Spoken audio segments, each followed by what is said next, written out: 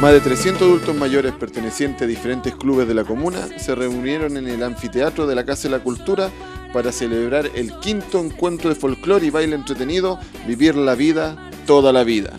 Para este evento, que ya tiene más de 5 años, las abuelitas prepararon sus rutinas durante todo el año, esperando que su presentación sea la más espectacular del evento. Es una muestra folclórica y deportiva de las organizaciones de adulto mayor. Se presentan siete organizaciones en esta oportunidad con muestra de gimnasia, muestra de folclore latinoamericano, danza moderna y danza teatro. Es tan grande el interés de participar de estas abuelitas que se preocupan del más mínimo detalle en su presentación y vestimentas, además de disfrutar de principio a fin este tipo de actividades.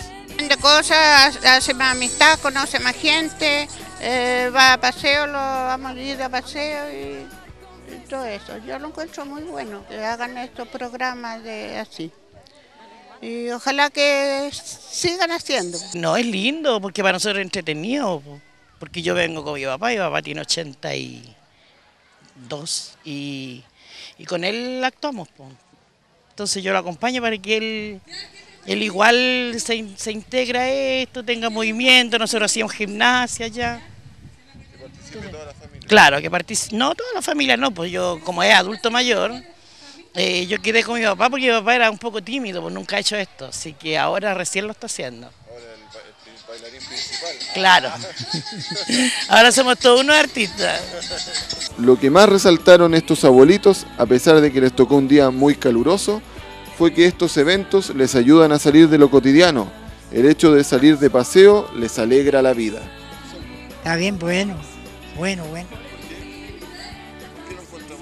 Sí, porque nosotros pues, cuando nos llevan a pasear, nos encontramos bueno porque somos ya de edad, tenemos que salir a extraernos algo.